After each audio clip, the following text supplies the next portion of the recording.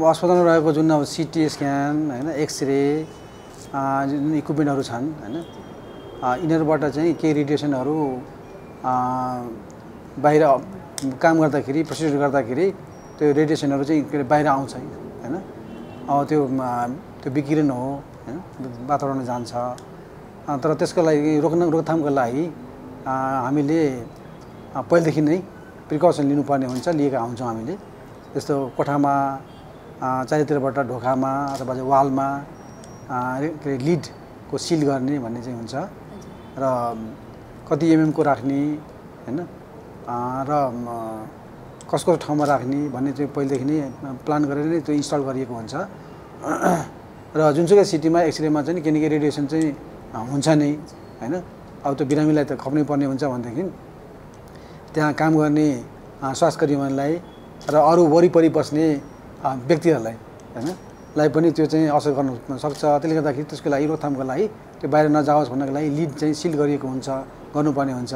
र हाम्रो पनि त्यस्तै नै सिल गरिएको छ। तर अब त्यो मापदण्ड अनुसार छ कि छैन त्यो हेर्नको लागि अब त्यो केही इक्विपमेन्टहरू हुन्छ त्यो इक्विपमेन्टले चाहिँ हेर्ने हो। र त्यसले चाहिँ हामीले त्यो नर्सलाई चाहिँ हामीले जिम्मा दिएको थियौँ र उहाँले रिपोर्ट पनि दिनुभएको छ। र केही जुन एउटा अप्टिमल लेभलभन्दा अलिकति बाहिर छ भन्ने कुरा चाहिँ उहाँले दिनुभएको छ। त्यसले गर्दाखेरि त्यसलाई रोक्नको लागि हामीले तुरन्तै त्यसको प्रक्रिया थालिसकेका छौँ र सम्बन्धित के अरे पार्टीले जसले चाहिँ त्यो इन्स्टल गर्यो होइन त्यो के अरे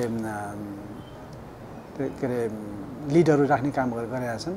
उनीहरूलाई बोलाएर तुरन्तै त्यो मापदण्ड अनुसार मिलाउनु पऱ्यो होइन त्यो थिकनेस बढाउनु पऱ्यो अथवा पुगेको छैन भने त्यो चेन्जै गर्नु पऱ्यो भनेर चाहिँ भनिसकेका छौँ र त्यसबाट चाहिँ हामी जोगिन सक्छौँ त्यो त अब यसो ठेक्का हुन्छ त्यो ठेक्का ठेकेदारले चाहिँ गरे हुन्छ त्यो अब ठेकेदारको कम्पनीको नाम त मलाई ठ्याक्क थाहा भएन हेर्नुपर्ने हुन्छ खरिदसँग चाहिँ त्यो हुन्छ सञ्चालन गरेको करिब एक वर्ष भयो यस्तो हुन्छ त्यसको लागि त हामीले अब जुन लिडको जुन छ नि त्यो त प्रोभिजन जुन छ त्यो त राख्नै पर्ने हुन्छ अनिवार्य नै जुनसुकै ठाउँमा हो यो अस्पतालमा मात्रै जहीँ पनि प्रोटेक्सनको त्यो चाहिँ मेकानिजम बनाउनै पर्ने हुन्छ र अरू कुरा के छ भने अब जहाँ एक्सपोजर भइसकेपछि त्यसलाई के गर्ने भन्ने कुरा त्यसको चाहिँ अब म्यानेजमेन्ट पनि गर्नुपर्ने हुन्छ। जस्तो अब हुनसक्छ कसैलाई चाहिँ ब्लडमा केही कमी कमजोरी हुनसक्छ त्यसैलाई उपचार गर्नुपर्ने हुन्छ।